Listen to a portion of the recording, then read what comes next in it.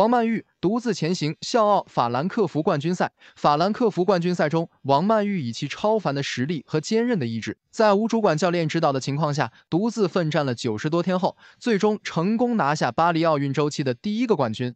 这一成就不仅是对她个人实力的肯定，更是对她不屈不挠精神的赞誉。在比赛中，王曼玉面临着诸多困难和挑战，她的对手来自世界各地，技术精湛，实力雄厚。尤其是在缺乏主管教练的现场指导下，他必须依靠自己的判断和经验去应对每一个挑战，这需要巨大的心理承受能力和自我调节能力。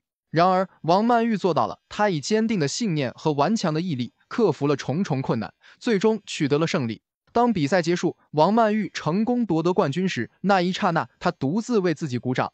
这不仅仅是对胜利的喜悦，更是对自我挑战的认可。在长时间的伤病困扰和孤身作战的压力下，他没有放弃，而是以更加坚定的态度去面对每一个挑战。这种精神让人心生敬佩。此外，王曼玉的成就也让我们看到了中国年轻一代运动员的崛起。他们不再依赖他人的帮助，而是依靠自己的实力和努力去争取每一个胜利。这种精神是中国体育精神的体现，也是我们国家未来的希望。王曼玉在法兰克福冠军赛的表现，不仅仅是一个冠军的诞生，更是一种精神的传承和发扬。她的故事激励着我们每一个人，让我们更加坚信，只要我们有信念、有毅力、有勇气去面对困难和挑战，就一定能够取得成功。让我们一起为王曼玉喝彩，为她的精神点赞。